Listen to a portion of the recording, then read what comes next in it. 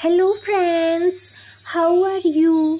I hope all you very well.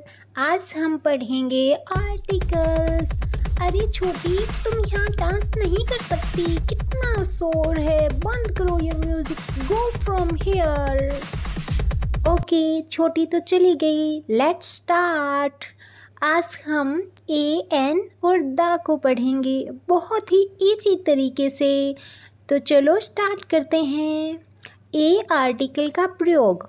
सबसे पहले ए article का प्रयोग कहाँ किया जाता है ये देखेंगे। ए आर्टिकल का प्रयोग सबसे इजी तरीके से हमें याद रखना है। तो ए आर्टिकल का प्रयोग किया जाता है एक वस्तु के लिए। एक वस्तु यानी एक चीज़ के लिए, जैसे यहाँ पे आपको शो हो रही। क्लोक क्लोक के पहले ए का प्रयोग करेंगे, क्योंकि क्लोक क्या है? यहाँ एक ही है, इसलिए हम ए लगाएँगे। जैसे यहाँ और भी आपको शो हो रहे हैं बैग बैग के पहले भी ए लगाएँगे, क्योंकि बैग एक है। टीवी टीवी के पहले भी हम एक लगाएँगे ए लगाएँगे।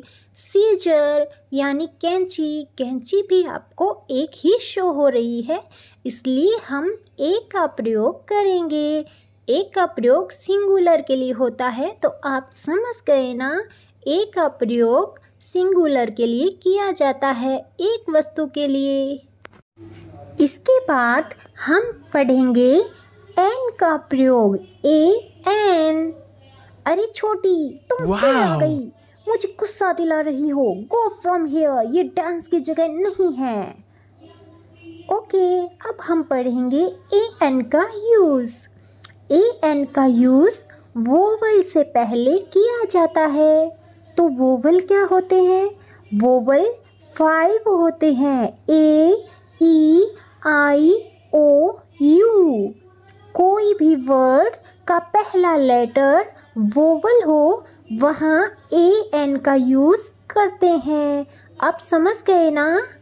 Okay A E I O you हो, वहाँ पे वोवल्स होते हैं और वहाँ ए एन का यूज़ किया जाता है। तो यहाँ पे आपको शो हो रहा है एप्पल एप्पल का पहला लेटर ए है, इसलिए हम ए एन का यूज़ करेंगे। फिर है ऑरेंज ऑरेंज का भी पहला लेटर ओ है और वोवल्स में है, इसलिए हम ए एन का यूज़ करेंगे। इसके बाद है मुझे आइसक्रीम बहुत पसंद है। आइसक्रीम का फ़र्स्ट लेटर आई है। इसके लिए हम ए एन का यूज़ करेंगे। इसके बाद है एलिफेंट। एलिफेंट शो हो रहा है ना आपको? एलिफेंट का फ़र्स्ट लेटर ई है। इसके लिए हम ए एन का यूज़ करेंगे। तो अब आप ए और ए एन का यूज़ सीख गए होंगे। ये बहुत इजी है। हाथी दादा जाओ यहाँ से। आपका काम हो गया है। थैंक यू अब हम पढ़ेंगे द का यूज़ अच्छा हुआ छोटी नहीं आई वरना डिस्टर्ब करती। अरे अरे अरे छोटी कहाँ भागी आ रही हो? वापिस जाओ। हम्म परेशान करके रखा है इस लड़की ने। तो चलो फ्रेंड्स अब हम दा का यूज़ पढ़ेंगे। सबसे सरल तरीका है, दुनिया में एक चीज़ हो तो उसके लिए दा का प्रयोग करते हैं। जैसे सूरज, तारे, चाँद, पृथ्वी, ऐसी बहुत सारी चीज़ें हैं जो दुनिया में एक है। तो इसके लिए हम दा का प्रयोग करेंगे। तो यहाँ आपको सबसे पहले सूरज दिखाई दे रहा है। तो सूरज दुनिया में एक है ना? तो इसके लिए हम दा लगाएँगे। इसके बाद है चाँद। चंदा मामा। चंदा मामा दुनिया में एक है।